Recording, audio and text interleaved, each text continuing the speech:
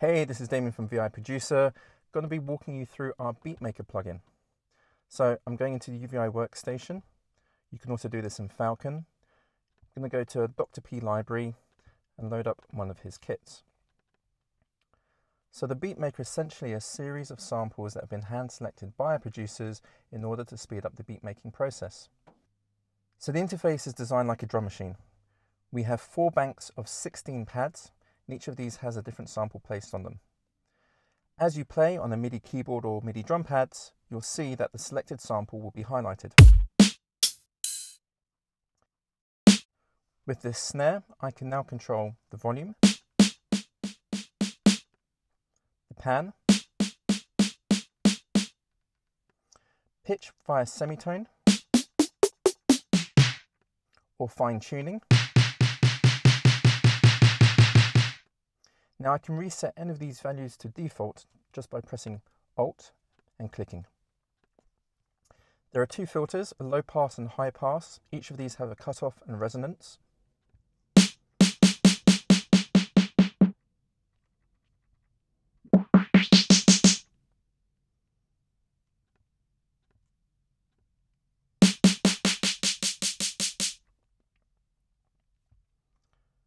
Next we have an effects section so we have an analog drive which adds harmonic distortion. We have the reverb send. And we have a delay.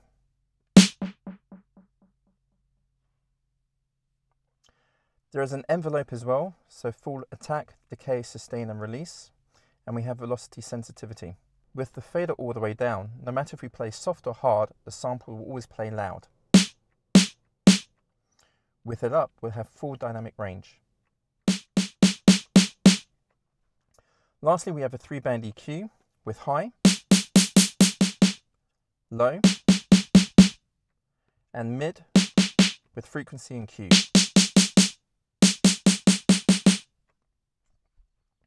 Next, we have two pitch modes. One called spread.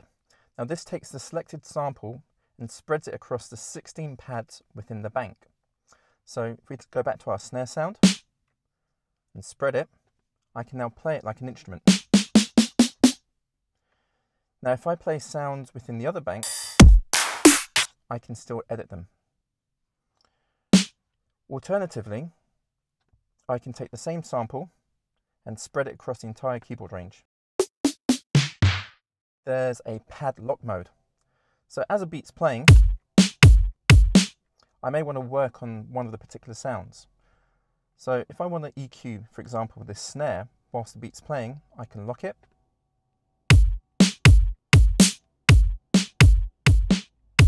Next we have the effects tab.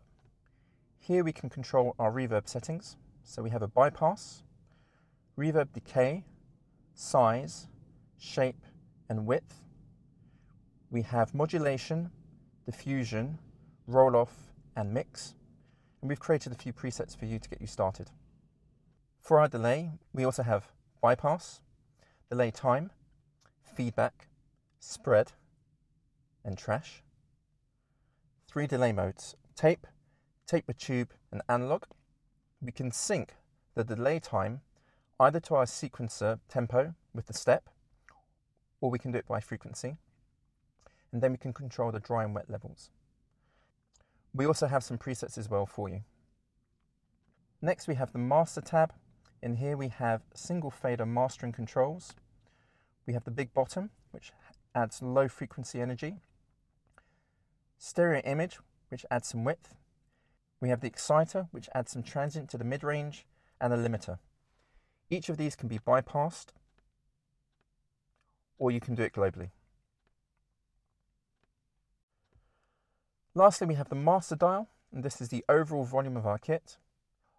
On the left-hand side, we have the ZP12 and the PZ60, and these are two 12-bit reduction modes and mimic vintage drum machines. Thank you very much for checking out the Beatmaker. Be sure to tune into our YouTube channel where we'll have other tutorials and plugin walkthroughs.